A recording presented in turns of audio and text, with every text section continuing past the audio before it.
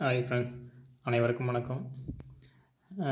நம்ம இதுக்கு முன்னாடி இந்த இதுக்கு முந்தின வீடியோவில் வந்து பார்த்திங்கனாக்கா நம்ம எல்சிஎம் பற்றி பார்த்துருந்தோம் அதாவது எல்சிஎம்மில் சில பேசிக்கான விஷயங்கள் என்னென்ன இருக்குது அப்படின்னு சொல்லிட்டு பார்த்துருந்தோம் இப்போ நம்ம பார்க்க போகிற டாபிக் வந்து பார்த்தீங்கன்னா ஹச்சிசிஎஃப் ஹச்சிசிஎஃப்பில் அதே போல் என்னென்ன பேசிக்கான விஷயங்கள்லாம் இருக்குது அப்படின்னு சொல்லிட்டு தான் இப்போ நம்ம பார்க்க போகிறோம் நம்ம இப்போ டாபிக் போகிறதுக்கு முன்னாடி வந்து பார்த்திங்கனாக்கா நம்மளுடைய சேனலை இது வரைக்கும் சப்ஸ்கிரைப் பண்ணலாம் சப்ஸ்கிரைப் பண்ணிவிடுங்க கூடவே அந்த பெல் பட்டன் அடித்து ஆல் வீடியோ கொடுத்துருங்க. அப்போ தான் நம்ம போடுற எல்லா வீடியோ உங்களுக்கு கிடைக்கும். சரி வாங்க. இப்போ நம்ம ஹச்சிசிஎஃப் எப்படி அதனுடைய பேசிக்கான விஷயங்கள் என்னென்ன இருக்குது அப்படின்னு சொல்லிட்டு பார்க்கலாம் வாங்க. அதாவது அஹ், மீ பெரு பொது வகுத்தி அதாவது மீ போ வா அப்படின்னு சொல்லிட்டுருக்காங்க அதுதான் நம்ம சொல்லுவோம் மீ சொல்லுவோம். ஆங்கிலத்தில் வந்து பார்த்தீங்கன்னா ஹையஸ்ட்டு காமன் ஃபேக்டர் அப்படின்னு சொல்கிறப்போ நம்ம அதை தான் சால்ட்டாக நம்ம ஹச்சிசிஎஃப் அப்படின்னு சொல்லிகிட்டு இருக்கோம். சரி வாங்க கட்சி சேப்னா எப்படி போடலாம் எப்படி கண்டுபிடிக்கலாம்னு சொல்லிட்டு பார்க்கலாம் வாங்க. இப்போ வந்து பார்த்திங்கனாக்கா போன வீடியோவில் பார்த்த மாதிரி நம்ம நாலு பன்னெண்டு சொல்லிட்டு ரெண்டு நம்பர் எடுத்துக்குவோம். எடுத்துக்கிட்டு இப்போ என்ன பண்ணணும்னு கேட்டாக்கா அதாவது இங்கே பாருங்கள் வகுத்தின்னு சொல்லியிருக்காங்க பாருங்கள் வகுத்தி ஃபேக்டர் இப்போ என்னன்னு கேட்டாக்கா அப்படின்னா அதாவது இந்த நாளை வந்து எந்தெந்த நம்பர்லாம் வகுக்கும் அப்படின்னு சொல்லிட்டு நம்ம எடுத்து எழுதணும். அதே போல் இந்த பன்னெண்டை எந்தெந்த நம்பர்லாம் வகுக்கும் அப்படின்னு சொல்லிட்டு நம்ம எடுத்து எழுதணும். இப்போ வந்து பாருங்கள் நாளை வந்து ஒன்று வகுக்கும் இல்லையா? ஒன்று வகுக்கும் ரெண்டு வகுக்கும். அதுக்கடுத்து வந்து பார்த்தீங்கன்னாக்கா நாலு தான் வகுக்கும் இல்லையா? அதுக்கு அதே போல் பன்னெண்டுக்கு பார்த்தீங்கன்னாக்கா ஒன்று வகுக்கும் ரெண்டு வகுக்கும் மூணு நாலு நாலு ஆறு பன்னெண்டு. இந்த நம்பர் எல்லாமே வந்து பார்த்தீங்கன்னாக்கா பன்னெண்டு கண்டிப்பாக வகுக்கும் இல்லையா? இப்போ நம்ம என்ன கேட்டாக்கா அதுக்கு அடுத்து வகுத்திக்கு அடுத்து பொதுவாக அதாவது காமன் என்னென்னலாம் இருக்குது அப்படின்னு சொல்லி பார்க்கணும். இப்போ ரெண்டுத்துக்கும் காமன் என்னென்ன இருக்குதுன்னு பார்த்தீங்கன்னாக்கா ஒன்று இருக்குது காமனாக அதே போல் வந்து பார்த்தீங்கன்னாக்கா இந்த ரெண்டு இருக்குது அதுக்கடுத்து வந்து பார்த்தீங்கன்னாக்கா நாலு இருக்குது மீதி எதுவுமே காமனாக இல்லை பாருங்கள் இந்த மூணு நம்பர் வந்து பார்த்தீங்கன்னாக்கா காமனாக இருக்குது அதுக்கடுத்து வந்து பார்த்தீங்கன்னாக்கா இதுக்கு அடுத்து மீப்பிரு அப்படின்னு சொல்லியிருக்காங்க பாருங்க ஹையஸ்ட்டு அப்படின்னு சொல்லியிருக்காங்க அப்போ என்னன்னு கேட்டாக்கா இந்த மூணில் எதுக்கு ஹையஸ்ட் மதிப்புன்னு பார்க்கணும். அப்போ நாலு தான் இதில் வந்து ஹையஸ்ட் மதிப்பு இல்லையா? அப்போ ஹஜிசியை வந்து பார்த்தீங்கன்னாக்கா நாலு. எப்பவுமே வந்து பார்த்தீங்கன்னாக்கா காமனாக ரெண்டு நம்பர் காமனாக இருக்கணும். அது ஹையஸ்ட் மதிப்பு என்னவோ அதுதான் வந்து பார்த்தீங்கன்னா ஹச்சிசிஎஃப் அப்படின்னு சொல்லிட்டு நம்ம எடுக்கணும் இப்போ இதுக்கு ஹச்சிசிஎஃப் தான். சரி வாங்க இப்போ ஒரு மூணு நம்பருக்கு என்னென்ன எப்படி எடுக்கலாம்னு பாருங்களேன். இப்போ ஹச்சிசிஎஃப் கண்டுபிடிக்கலாம். இப்போ வந்து உதா உதாரணத்துக்கு ஆறு ஒம்பது பன்னெண்டுன்னு வச்சிங்களேன். இதுக்கு ஹச்சிசிஏ பண்ண பார்க்கணும் நம்ம இப்போ. இப்போ வந்து மூணுமே வந்து பார்த்தீங்கன்னாக்கா மூணாவது வகுப்படும் இல்லையா? அப்போ ரெண்டு மூணு நாலு. இல்லையா? மூணால் வகுக்கும்போது இப்படி கிடைக்கிது நமக்கு. இந்த மூணு நம்பர் வந்து பார்த்தீங்கன்னா காமனாக வந்து பார்த்தோன்னாக்கா ஒரே நம்பரால் வகுப்படுமா அப்படின்னு சொல்லிட்டு நம்ம பார்க்கணும். அப்படி பார்த்தாக்கா எந்த ஒரு நம்பராலையும் இது வந்து பார்த்தோன்னா வகுப்படாது. அதனால் இதுக்கு இதுக்கு மேலே நம்ம ஹச்சிசிஏ கண்டுபிடிக்கக்கூடாது எதே எல்சிஎம் வந்து நம்ம லாஸ்ட்டு ஒன்று வர வரைக்குமே இந்த மூணு நம்பர் ஒன்று வர வரைக்குமே நம்ம வகுக்கலாம். ஹஜித் சேப்பில் வந்து பார்த்தீங்கன்னா இந்த மூணுமே காமனாக வகுப்பட்டால் மட்டும்தான் நம்ம ஒரே நம்பரால் வகுக்க முடியும். அப்போ இந்த மூணு நம்பருக்கு வந்து பார்த்தோன்னாக்கா ஹஜித் சேப் வந்து பார்த்தீங்கன்னாக்கா மூணு. இப்படி தான் நம்ம கண்டுபிடிக்கணும். இப்போ சரி வாங்க அதே இப்போ சப்போஸ் ஒரு லெட்டர்ஸில் கொடுத்தாங்கனாக்கா எப்படி ஹச்சிசி கண்டுபிடிக்கலான்னு பார்க்கலாம் பாருங்களேன். இப்போ உதாரணத்துக்கு a squared b c c squared a cube b squared c இப்படின்னு வச்சுக்கோங்களேன். இப்படி இப்படி ஒரு மூணு டேம் இருக்குன்னு வச்சுங்களேன் இப்போ என்ன பண்ணலான்னு கேட்டாக்கா இதில் ஹச்சிசி கேட்குறான்னு வச்சுங்களேன் இது எப்படி கண்டுபிடிக்கலான்னு பார்த்தீங்கன்னாக்கா அதாவது ஹையஸ்ட் பவர் அதாவது ஹஜிசியை பொறுத்த வரைக்கும் பார்த்தீங்கன்னாக்கா லோயஸ்ட் பவர் அதாவது சரி எல்சிஎம் வந்து பார்த்தீங்கன்னா ஹையஸ்ட் பவர் இருக்கணும்னு சொல்லியிருந்தேன் இல்லையா? இதில் வந்து பார்த்தீங்கன்னா லோயஸ்ட் பவர் என்ன இருக்குதோ அதுதான் வந்து பார்த்தீங்கன்னா இதனுடைய ஹஜிசியப்பாக இருக்கும். அப்படி பார்க்கும்போது இங்கே ஏ ஸ்கொயர் இருக்குது இங்கே ஏ இருக்குது இங்கே ஏ கியூப் இருக்குது இல்லையா? அப்போ இதில் ரொம்பவும் குறைவான மதிப்பு எதுன்னு பார்த்தாக்கா ஏ தான் இல்லையா? இதான் என்னுடைய பவர் தான் ரொம்ப கம்மியாக இருக்குது அப்போ ஏ அப்போ அதுக்கப்புறம் பார்த்தீங்கன்னா இங்கே பி இருக்குது இங்கே பி இருக்குது இங்கே பி ஸ்கொயர் இருக்குது இது எதில் சின்ன மதிப்புன்னு பார்த்தாக்கா இங்கே பி இருக்கு இல்லையா? பி மட்டும்தான் நம்ம இருக்கா பவர்லெஸ் கம்மியாக இருக்கிறதுனால நம்ம பி எடுத்து எழுதிடலாம். அதுக்கடுத்து பாருங்கள் இங்கே சி இருக்குது இங்கே சி ஸ்கொயர் இருக்குது இங்கே சி இருக்குது அப்போ இல்லை இதில் சின்ன மதிப்புன்னு கேட்டால் சி தான் சின்ன மதிப்பு இல்லையா? அப்போ நம்ம சி எடுத்து எழுதலாம். அப்போ என்னோட மதிப்பு வந்து பார்த்தோன்னாக்கா ஏபிசி தான் என்னுடைய ஹெச்சிசிஎப்பு அப்படி சொல்லிட்டு நம்ம கண்டுபிடிக்கலாம். இப்போ உதாரணத்துக்கு பாருங்களேன் இப்போ இப்படி கேட்டால் நாம் எப்படி எழுதலான்னு பாருங்களேன்.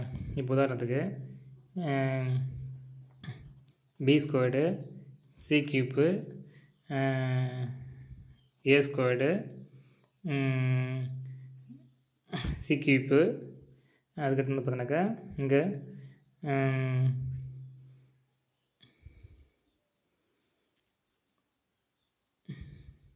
இங்கே வந்து பார்த்தோன்னாக்கா ஏ பி ஸ்கொயர்டு சி அப்படி இருக்குன்னு வச்சுக்கோங்களேன். இப்போ பாருங்களேன் இப்போ நான் இது எப்படி இல்லைன்னு பாருங்களேன். இப்போ அதாவது எப்பயுமே வந்து பார்த்தீங்கன்னாக்கா எல்ஸ் ஹச்சிசி பண்ணி பிடிக்கும்போது லோயஸ்ட் பவராக இருக்கணும். அதாவது காமன் டேம்ஸ் அதாவது ஒரு ந ஒரு டேம் இருக்குனாக்கா அந்த டேமில் எல்லாமே இருக்கணும். இருந்தால் மட்டும்தான் நம்ம ஹச்சிசி எடுக்கணும். அப்போ வந்து என்னோடய ஹச்சிசி பாருங்களேன் ஹச்சிசி எஃப் இதனுடைய பாருங்கன்னா இங்கே வந்து பார்த்தீங்கன்னாக்கா பி ஸ்கொயர் இருக்குது இல்லையா?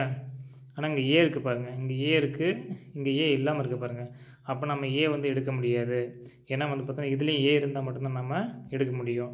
மூணுத்துலேயுமே அந்த மதிப்பு இருக்கணும். அப்படி இருந்தால் மட்டும்தான் நம்ம எடுக்க முடியும். இதே வந்து எல்சிஎம் வந்தாக்கா ரெண்டுத்துல இருந்தால் கூட போது இல்லை ஒன்றுத்துல தான் நம்ம அதை எடுத்து எழுதலாம் அப்படி தான் நம்ம சொல்லியிருந்தோம் இல்லையா? சரி அப்புறம் நம்ம ஏ எடுக்க முடியாது. அதுக்கடுத்து பாருங்கள் இங்கே பி இருக்குது பாருங்கள் இங்கே பி இருக்குது இங்கே வந்து பி இல்லை இங்கே பி இருக்குது இங்கே பி ஸ்கொயர் இருக்குது இங்கே பி ஸ்கொயர் இருக்குது இங்கே பி இல்லை. அதனால் என்ன பண்ணலான்னு கேட்டாக்கா நம்ம இதுக்கு இதையும் நம்ம எடுக்க முடியாது. ஏன்னா மூணுத்துலேயும் இருந்தால் மட்டும் நம்ம எடுக்க முடியும்னு சொல்லியிருந்தோம் இல்லையா? அதுக்கடுத்து வந்து பாருங்களேன் இங்கே சி கியூப் இருக்குது இங்கே சி கியூப் இருக்குது இங்கே சி மட்டும் தான் இருக்குது பாருங்கள் அப்போ மூணுத்துலேயுமே இருக்குது. மூணுத்தில் எது பார்த்தோன்னாக்கா லோயஸ்ட்டு பவர்னு கேட்டால் சி தான் இல்லையா? அப்போ நம்ம இங்கே சின்னு நம்ம எடுத்துடலாம் எழுதிடலாம். இப்போ இதனோட ஹச்சிசி வந்து பார்த்தீங்கன்னா சி தான். இப்போ உதாரணத்துக்கு இப்போ சப்போஸ் ஒரு வேளை இங்கே நம்பர்ஸில் ரெண்டு மூணு சாரி நாலு ஆறு இப்படி குத்துறோம் வச்சிங்களேன் இதனுடைய ஹச்சிசியை பண்ணி சப்போஸ் கேட்டாங்கனாக்கா அந்த நம்பர்ஸ் நம்ம தனியாக வந்து பார்த்தீங்கன்னா ஹச்சிசி பண்ண பிடிக்கணும். அப்போ ரெண்டு நாலு ஆறு. இது என்னுடைய ஹச்சிசி எப்படின்னு பார்த்தீங்கன்னாக்கா ரெண்டால் நம்ம ஊற்றுனோம்னாக்கா ஒன்று கமா ரெண்டு கமா மூணுன்னு வரும் இல்லையா? இதுக்கு மேலே நம்ம எடுக்க முடியாது. அப்போ இதனுடைய வந்து பார்த்தீங்கன்னாக்கா காமனான ஹச்சிசி வந்து பார்த்தாக்கா ரெண்டு இல்லையா? அப்போ ரெண்டு சி தான் வந்து பார்த்தீங்கன்னாக்கா என்னுடைய ஹச்சிசிஎஃப் இப்படி தான் நம்ம எடுக்கணும். அதுக்கு வந்து பாருங்களேன். இப்போ சப்போஸ் ஒரு வேளை ஏ கியூப்பு மைனஸ் ஒன்று அதுக்கடுத்து வந்து பாருங்க ஏ ஸ்கொயர்டு மைனஸ் ஒன்று சப்போஸ் இப்படி கேட்டாங்கனாக்கா இதனுடைய ஹஜிசி எப்படின்னு கேட்டாக்கா நம்ம சொன்ன மாதிரி நம்ம lowest power highest power lowest power all டைம்ஸ்லாம் நீங்கள் பார்க்க முடியாது. ஏன்னா வந்து பார்த்தீங்கன்னா இங்கே மைனஸ் இருக்குது பாருங்கள் இது போல் மைனஸோ இல்லை ப்ளஸோ வந்தாக்கா அது எந்த மெத்தடில் இருக்குது எந்த ஃபார்முலா மெத்தடில் இருக்குதுன்னு நம்ம ஃபஸ்ட்டு பார்க்கணும். மோ பெருக்கல் இருந்தாக்கா நம்ம அப்படியே எடுத்துடலாம். மஸ்ட் நம்ம இதுவரை நம்ம பார்த்தலாம் வந்து பார்த்தீங்கன்னாக்கா பெருக்கல் இருந்துச்சு. அதனால் நம்ம அப்படி நம்ம எடுத்து எழுதணும். இது வந்து பார்த்தீங்கன்னாக்கா மைனஸ்லேயோ இல்லை ப்ளஸ்லேருந்து அப்படி எழுத எடுத்து எழுத முடியாது.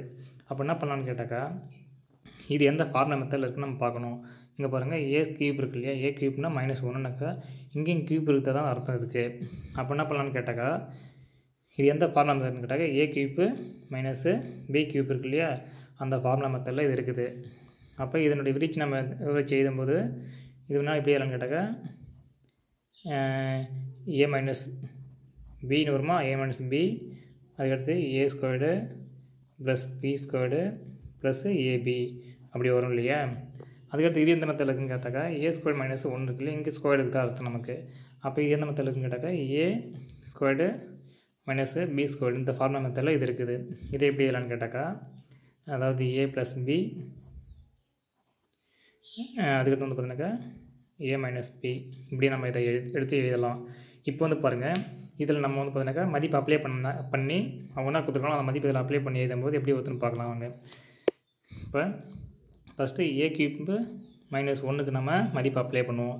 மதிப்பு அப்ளை பண்ணும்போது ஃபார்முலாவில் வந்து பார்த்தீங்கன்னாக்கா ஏ இருக்குது இல்லைங்க இங்கே? வந்து பார்த்தீங்கன்னாக்கா அப்போ ஏ கியூப் இந்த இடத்துல வந்து இந்த இடத்துல வந்து ஏ நம்ம அப்ளை பண்ணும்போது மதிப்பு அப்ளை பண்ணும்போது நமக்கு என்ன கிடைக்குன்னு கேட்டாக்கா ஏ கிடைக்குமா?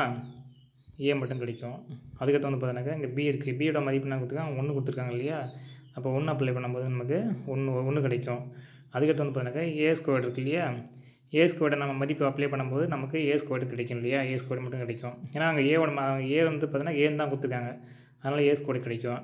அதுக்கடுத்து வந்து பார்த்தீங்கன்னாக்கா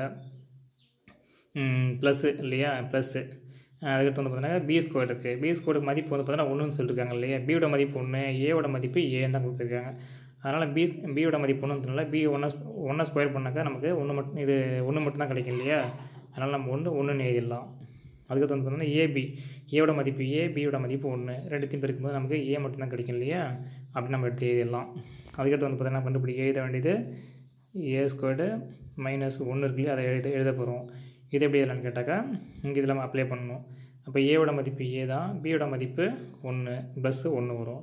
இங்கே வந்து பார்த்தீங்கன்னா ஏவோட மதிப்பு ஏ தான் வரும். அதுக்கடுத்து மைனஸு பியோட மதிப்பு ஒன்று இல்லையா? ஒன்று நேற்று எழுதிடலாம். இப்போ வந்து பாருங்கள் விவரிச்சு நம்ம தெளிவாக எழுதியாச்சு. இப்போ இதுக்கு தான் நம்ம வந்து பார்த்தீங்கன்னா ஹச்சிசியை கண்டுபிடிக்கணும். இப்போ ஹச்சிசிஎஃப் பாருங்கள் ஹச்சிசிஎஃப் என்னன்னு கேட்டாக்கா இதில் வந்து பார்த்தீங்கன்னா காமன் என்ன இருக்குன்னு பார்க்கணும். அதில் வந்து பார்த்தீங்கன்னா ஹையஸ்ட் என்ன மதிப்பு அப்படின்னு சொல்லிட்டு நம்ம சாரி லோ லோயஸ்ட் மதிப்பு என்னன்னு சொல்லிட்டு நம்ம இதை பார்க்கணும். பார்க்கலாம் பார்க்கும்போது இதில் ஏ மைனஸ் ஒன்று இருக்கு இல்லையா? இங்கே வந்து பார்த்தீங்கன்னாக்கா ஏ மைனஸ் ஒன்று இருக்குது பாருங்கள் ரெண்டுத்துலேயும் காமனாக இருக்கணும். இதில் என்ன இருக்குதோ அதே மதிப்பு தான் இங்கே நம்ம சொன்னோம் இல்லையா? இதில் இதில் என்ன மதிப்பு இருக்குதோ அது மூணுத்துலேயும் இருக்கணும். இதில் இதில் எதில் மிஸ் ஆனாக்க நம்ம அதை நம்ம எடுக்க முடியாது சொல்லியிருந்தோம் இல்லையா? அப்போ இந்த மதிப்பு பாருங்கள் அதே போல் ஏ மைனஸ் ஒன்று இங்கே இருக்குது இங்கே ஏ மைனஸ் ஒன்று இங்கே இருக்குது இருக்குது இந்த மதிப்பு இந்த மதிப்பு மாறுறதுனால நம்ம இதை எடுத்து எழுதக்கூடாது. அப்போ காமனாக இருக்கிறது வந்து பார்த்தீங்கன்னாக்கா ஏ மைனஸ் ஒன் ஒன்று மட்டும்தான் இருக்கு இல்லையா? அப்போ ஏ மைனஸ் ஒன்று இது மட்டும்தான் என்னுடைய ஹச்சிசிஎஃப்பு இப்படி தான் நம்ம கண்டுபிடிக்கணும். நம்ம இப்போ நம்ம வந்து பார்த்தோன்னா பார்த்தீங்கன்னா ஹச்சிசிஎஃப்புடைய பேசிக்கான சில விஷயங்கள்லாம் பார்த்துருக்கோம். அடுத்து நம்ம இதை த கணக்கெலாம் நம்ம பார்க்க பார்க்க உங்களுக்கு வந்து இதனுடைய பேசிக்கு எல்லாமே உங்களுக்கு கொஞ்சம் கொஞ்சம் தெளிவாகிடும் நீங்கள் அதனால் அடுத்து நம்ம வீடியோவில் வந்து பார்த்தோன்னாக்கா இதனுடைய கொஷின்ஸ் எல்லாம் நம்ம வந்து பார்க்கலாம். சப்போஸ் உங்களுக்கு ஏதாவது சந்தேகம் சொன்னாக்கா இந்த மேக்ஸில் ஏதாவது சந்தேகம் சொன்னாக்கா நீங்கள் கமெண்ட் பண்ணுங்கள் கண்டிப்பாக நான் வந்து அதுக்கு ஆன்சர் பண்ணுறேன் தொடர்ந்து நம்மளோட வீடியோவை பாருங்கள் ஓகே ஃப்ரெண்ட்ஸ் இதனுடைய கண்டினியூ வீடியோ நம்ம அடுத்த இதில் பார்க்கலாம். தேங்க்ஸ்